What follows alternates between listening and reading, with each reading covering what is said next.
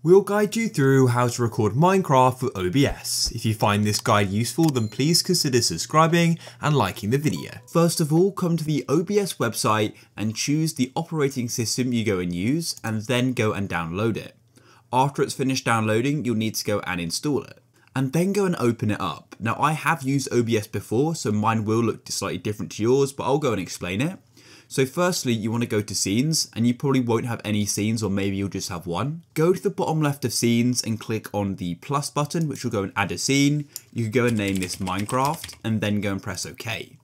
And now just before we get any further, we want to go into our settings. So go to the bottom right and click on settings. Go over to the left and select output and at the top you can choose the output mode. Just keep it on simple, it should be fine. You then want to come down to the recording section. First of all, choose the recording path. This is where your files, which you go and record, will be saved. So I just had them in my videos folder. Then you can come down to recording quality. Click here.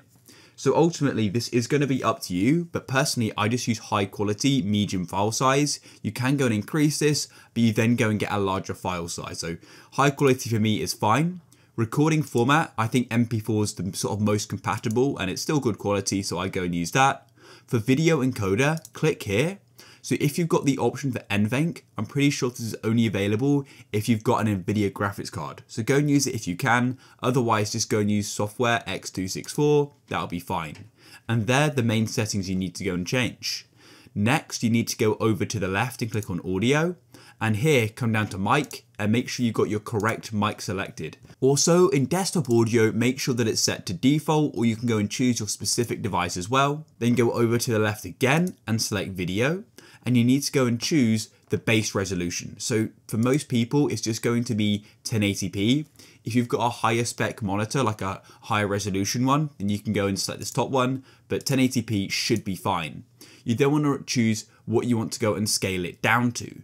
So this is actually what your video is going to be recorded in. So in my opinion, 1920 by 1080, which is just HD, is fine. So go and use that option. And then you can go and choose the FPS. So the FPS is sort of how smooth things are. Ideally, go and use 60, it makes things look a lot smoother. But if you find that when you're recording you start to get lag and things like that, then you can always come and decrease it to 30, but ideally try and use 60. Then come over to the left again into hotkeys. And what I like to do is go and set a key so I can go and start recording and stop recording with a button. So click on start recording and then choose the button you want to use. I tend to use F12 and I also like to go and stop the recording with F12 as well. And then you can go and press apply and there the settings set up. So go and click OK and then make sure you've got your scene selected, which is Minecraft for me. And we now want to go and add a source. So go and click on the plus button. So you've got a few different options here. What I tend to do is I like to just go and capture my entire display. Therefore, I'll go and put Minecraft full screen and I can then go and start recording. However, I know some people like to go and use game capture. As I said, I like to use display capture, so I'll select there, then I'll click OK. You then need to go and choose the display you want to use if you've got multiple, so I want my primary one. If you only have one, that won't be a problem, and I'll then go and press OK. Now, as you can see, my sort of monitor is too big. That's just because of the size of it.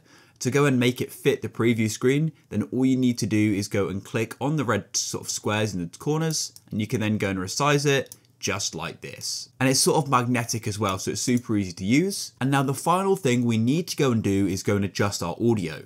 So firstly, you want to go and adjust your mic. As you can see here, you can drag it up and down. But what you want to do is adjust your desktop audio because this is going to be the Minecraft sounds and other audio on your computer.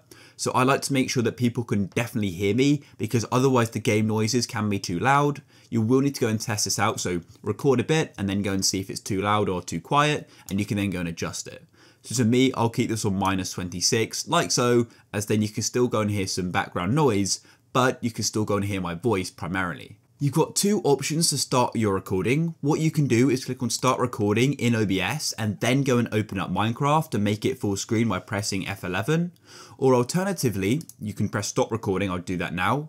What we can do is go and use the hotkey we set up. So let's go into Minecraft. And then what we can do is go and press on F12 on our keyboard and we've now started the recording without having to go and press start recording in OBS. And yeah, and then when you're ready to go and stop, you can then just go and press on F12 again and the recording will be stopped. And so here it is just here, you can double click on it and then watch it back.